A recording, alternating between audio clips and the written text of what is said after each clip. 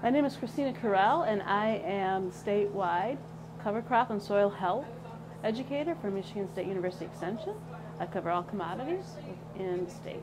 I'm going to do what we call the slump test. The slump test will actually measure uh, aggregate stability. It'll help people see how their soil structure holds up under water and the resiliency that your soil has in cases of adverse weather effects.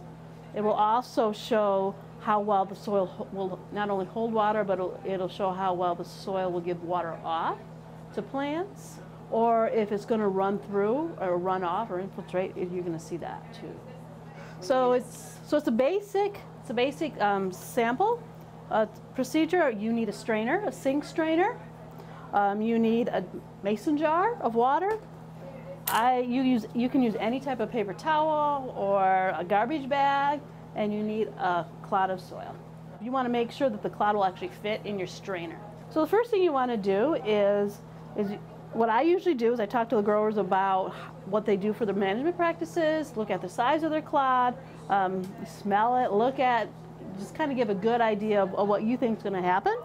And you take your clod and you just gently put it in your water and then you watch it. This is similar to a slake test, only this one is actually much more dramatic.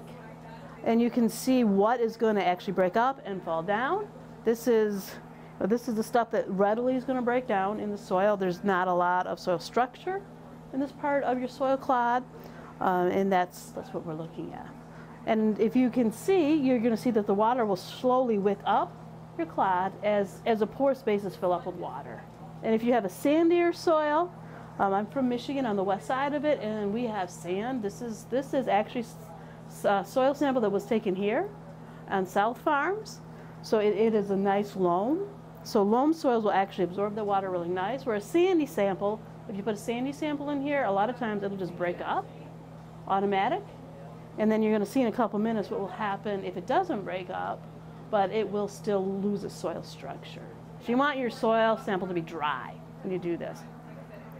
So this is just kind of the stuff on the side that doesn't have good root strength, that doesn't have a lot of those glues that we get from our, our roots to hold it together.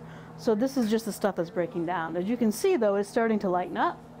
Uh, we have some settling, so our sediment is settling out.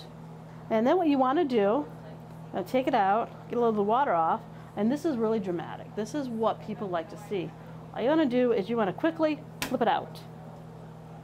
If you have good soil structure, you're going to keep the shape that the soil uh, was in when you put it in here on your clod. If you have really poor soil structure, it'll actually just splatter out. And you lose all your soil structure. There's no aggregation left in it.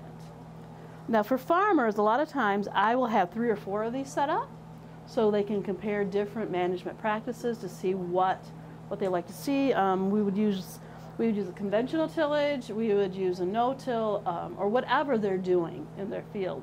And then we can compare it with different management practices.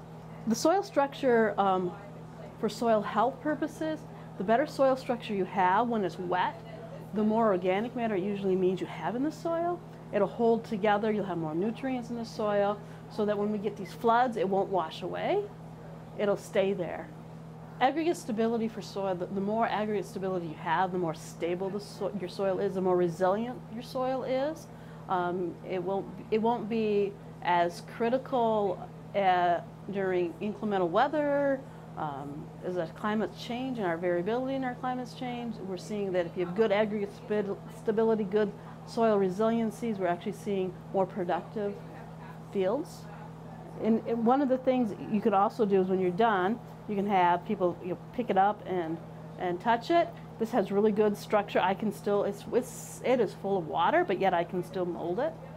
If I had really poor structure, I wouldn't be, it would just, I wouldn't be able to do this. It would just run right through my hands. And this is, this is very similar to the slake test. It's just a, really dramatic, especially if you've got sandy soil when you flip it out and it splatters all over. That's a really good teaching tool. So the slump test is very similar to the slake test, and what we're trying to prove is, still looking at aggregate stability. It's, it's cheaper to do, and it's very dramatic. It really, it, it really opens your eyes up to how your soil is going to hold together. and you can touch it and feel it.